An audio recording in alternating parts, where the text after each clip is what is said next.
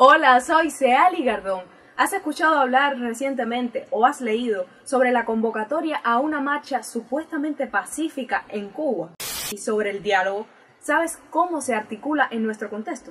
Te invito a compartir este tiempo virtual con Web Cuba para que te actualices de lo que ha sido tendencia informativa esta semana en nuestro país.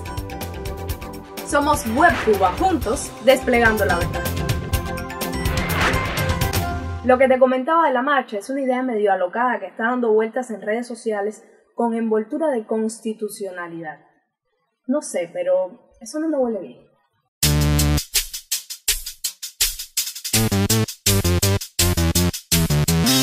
Este joven dramaturgo cubano ha lanzado desde la plataforma ciudadana Archipiélago una convocatoria de marchas pacíficas en la isla para el próximo 20 de noviembre.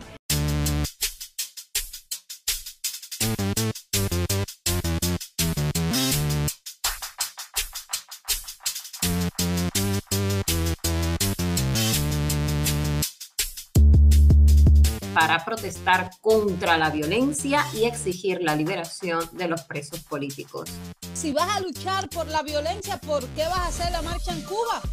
Ve a hacer la marcha en Chile, ve a hacer la marcha en Panamá, ve a hacer la marcha en Colombia, ve a hacer la marcha en Estados Unidos, marcha en Miami.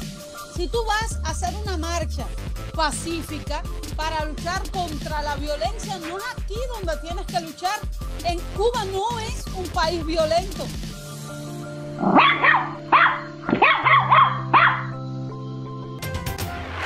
Lo peor es que si esa marcha o esas marchas llegan a ocurrir, prepárate para un discurso elaborado. Dicen que exceso de represión, que censura, y yo te aviso desde ahora, lo mejor es que te vayas informando y no creas todo lo que escuchas, sobre todo si viene de ciertas televisoras.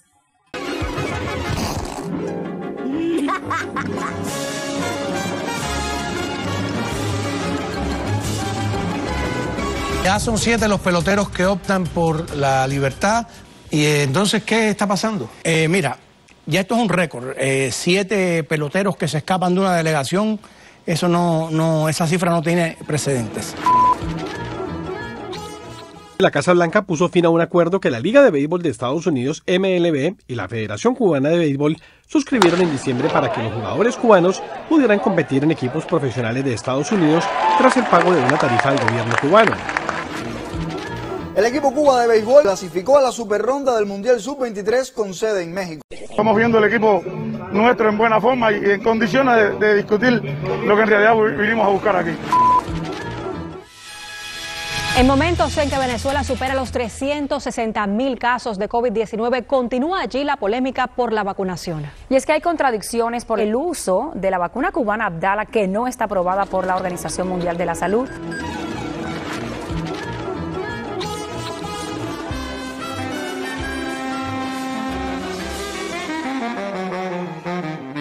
Hay, no hay ninguna descalificación, es, todo un proceso que, que toma un tiempo.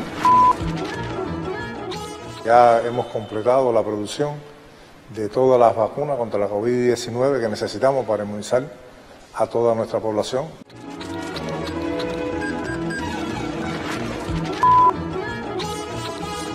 La canción Patria y Vida fue nominada a dos premios Latin Grammy.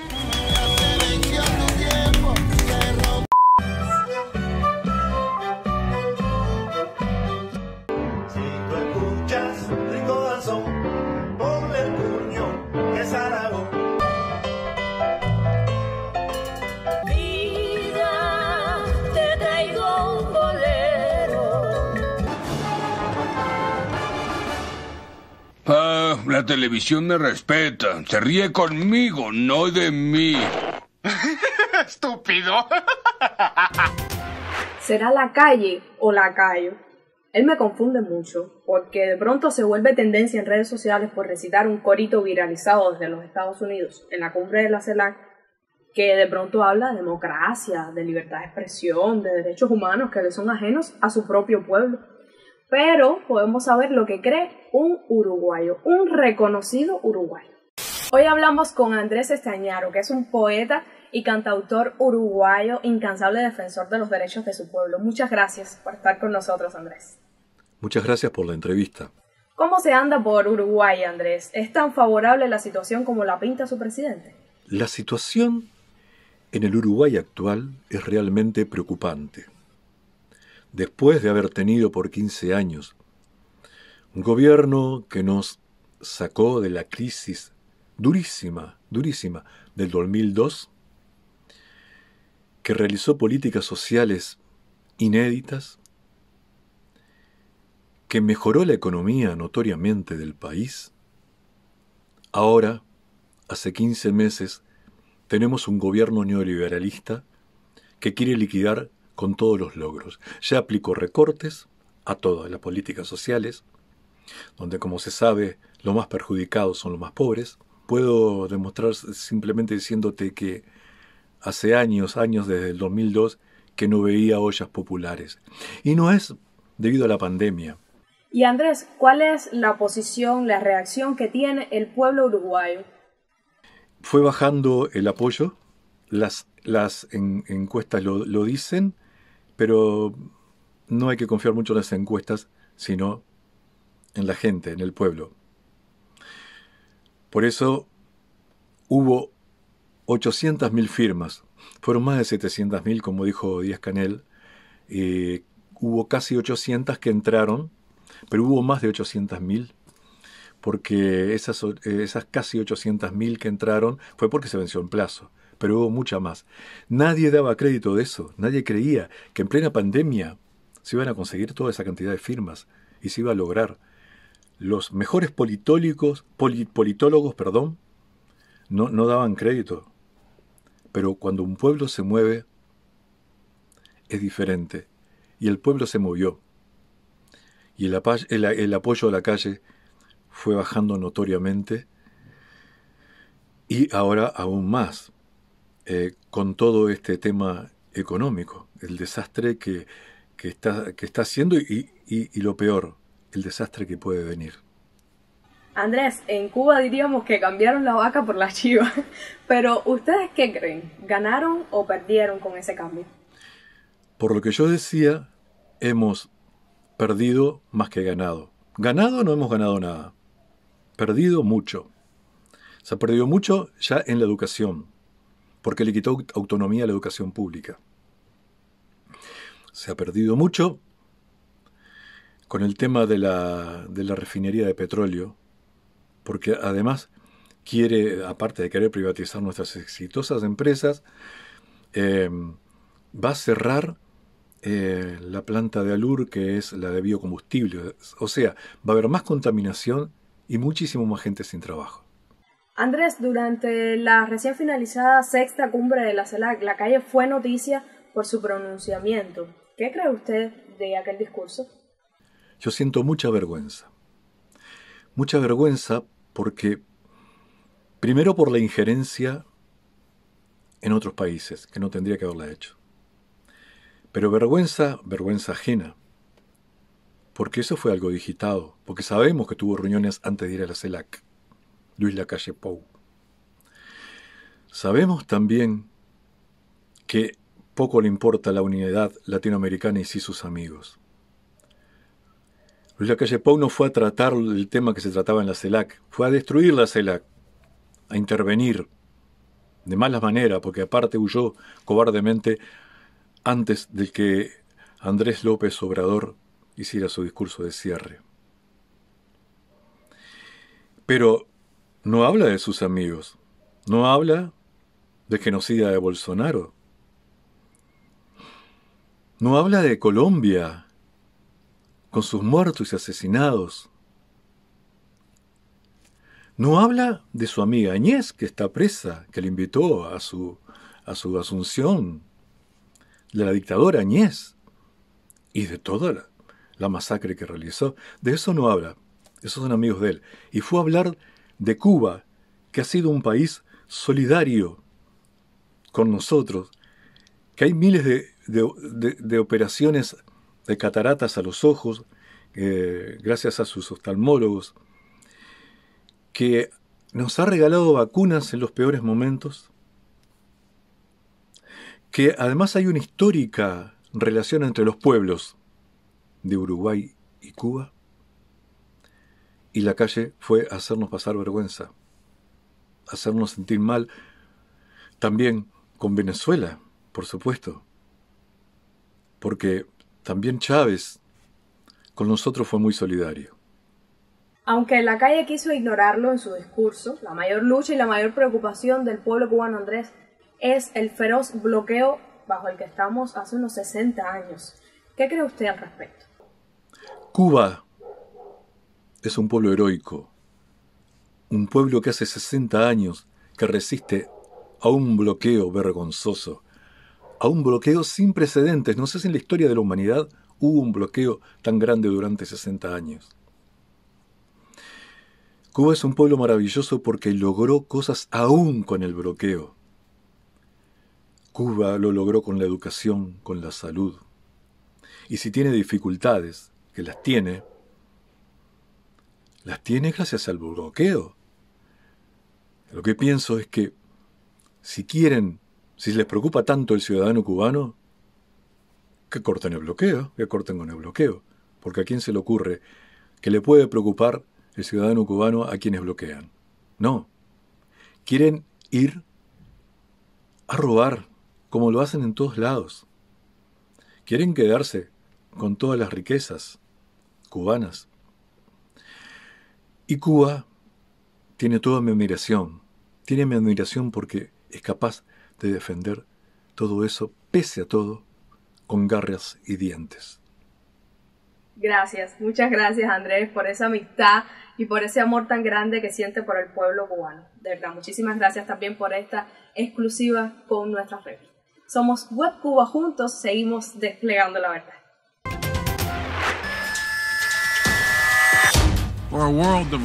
No queremos una nueva guerra fría, no queremos una nueva división. Y estoy aquí para compartir con ustedes cómo queremos trabajar en Estados Unidos y nuestros aliados para responder estas preguntas. Durante más de 60 años, el gobierno de Estados Unidos no ha cesado ni un minuto en sus ataques contra Cuba.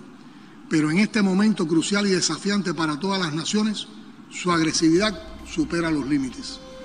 Hemos llevado en múltiples ocasiones la denuncia de la campaña feroz contra nuestro país que se desata desde las élites que han gobernado los Estados Unidos. Queremos renovar nuestra, nuestra diplomacia. Los conflictos y la violencia tienen que ser el último recurso. Y la actual administración demócrata mantiene vigente sin cambio las 243 medidas de coerción adoptadas por el gobierno de Donald Trump, incluyendo la incorporación de Cuba a la espuria e inmoral lista de países que supuestamente patrocinan el terrorismo. Y nosotros tenemos que dar respuesta a ese llamamiento, no silenciarlo. Estados Unidos está comprometido con sus recursos y sus plataformas internacionales con esas voces. Los escuchamos. Queremos hacerlos socios nuestros. Que se lanza contra nuestro país una guerra no convencional a la que el gobierno estadounidense dedica de manera pública y notoria fondos multimillonarios mediante campañas de manipulación y mentiras que emplean las nuevas tecnologías de la información y otras plataformas digitales para proyectar interna y externamente una imagen absolutamente falsa de la realidad cubana y justificar la doctrina de cambio de régimen.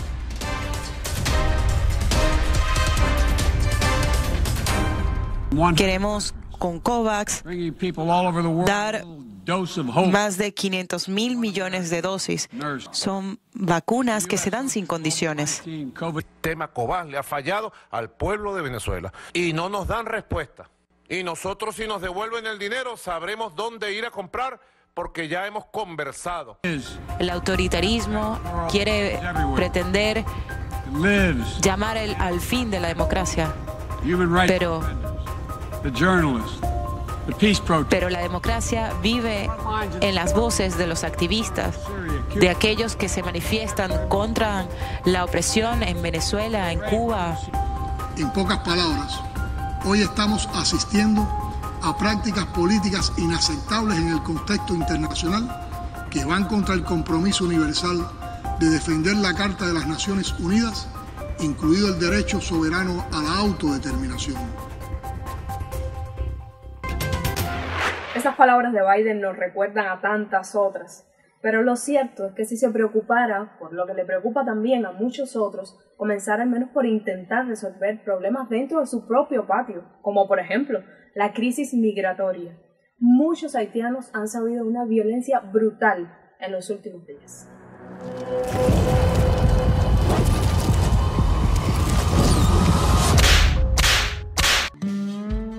En las últimas semanas se ha desarrollado una crisis migratoria sin precedentes de ciudadanos haitianos buscando establecerse en los Estados Unidos. Cerca de 15.000 de ellos se encontraban en el puente fronterizo que divide a la nación norteña de su vecino México, donde fueron expulsados por las autoridades de manera brutal.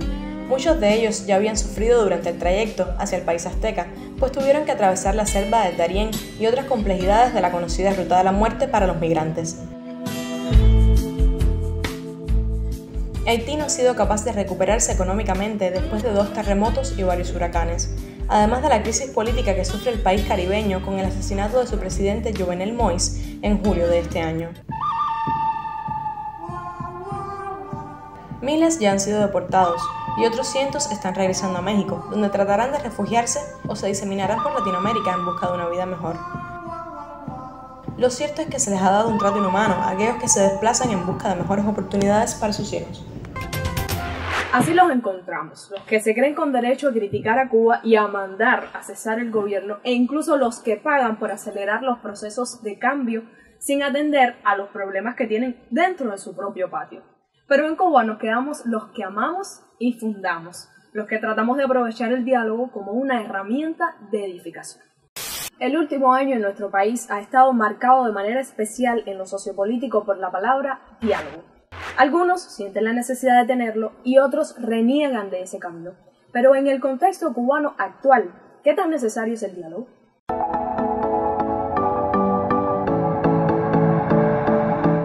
Nuestro país sufre, como el mundo todo, una crisis sanitaria. En nuestro caso, matizada por carencias económicas que se viven hace muchos años, con mejorías circunstanciales, pero que ahora se agudizan aún más para sectores vulnerables de nuestra población. Al escenario epidemiológico, el desabastecimiento y el bloqueo contra Cuba se suman los efectos de una guerra fría y la globalización neoliberal. Todo eso ha desembocado en episodios de división, cuestionamientos a la gestión gubernamental y lo peor han sido manifestaciones agresivas que han puesto en peligro la estabilidad y la paz y han llevado a muchos al desasosiego en un país que siempre ha hecho gala de su seguridad ha salido a relucir una Cuba diversa en pensamientos y sentires, que lejos de llevar al caos debería articularse en un diálogo nacional que nos permita avanzar con paso firme hacia la prosperidad, tanto espiritual como material. Pero, ¿cuáles serían las características de un diálogo en Cuba? La raíz etimológica de la palabra nos puede dar un buen punto de partida. La palabra diálogo se forma por el prefijo dia, que significa a través de, mutuamente, y logos, que significa discurso. Por lo tanto, estamos hablando de un discurso mutuo o recíproco, que sucede a partir de significados compartidos entre los interlocutores. Llegar a un consenso entre sectores de la sociedad que han mostrado desacuerdo y desconfianza requiere en un primer término de la voluntad mutua de dialogar sin condicionamientos, sin imposición y sí haciendo concesiones que permitan forjar la confianza en la que se basa cualquier acuerdo futuro. Así como en algunos puntos es preciso ceder, sobre todo en el contexto cubano también es importante plantear límites innegociables, como lo son la soberanía y la no intervención de terceros estados. El diálogo nacional es privativo de la sociedad cubana y en él no tiene parte ni protagonismo nadie más. A lo sumo puede existir lo que en derecho internacional se conoce como amigable componedor y que solo se aprueba si todas las partes están de acuerdo. Aun cuando no es nuestro caso, muchos países en conflictos sociales y guerras civiles han ido a la mesa de diálogo. La Habana, por ejemplo, sirvió de escenario para los acuerdos entre el gobierno colombiano y las FARC. Venezuela se encuentra en este momento en la mesa con la oposición de ese país Irlanda del Norte encontró la paz después de 20 años gracias a un proceso de diálogo. Cuba no ha llegado ni debe llegar a esos extremos.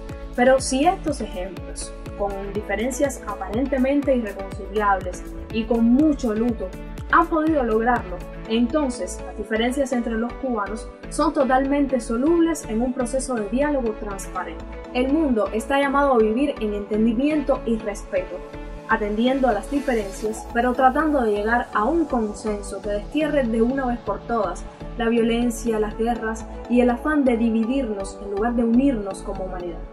Cuba tiene necesidad de dialogar, no solo como un ejercicio diplomático que ocurre en sesiones y cada determinados periodos. La construcción de un país amerita de un diálogo profundo y sistemático con la sociedad toda, máxime el nuestro, donde se aspira a una república con todos y para el bien de todos. Eso que para muchos es una utopía, pero ¿cuál es la función de las utopías sino dinamizar la realidad?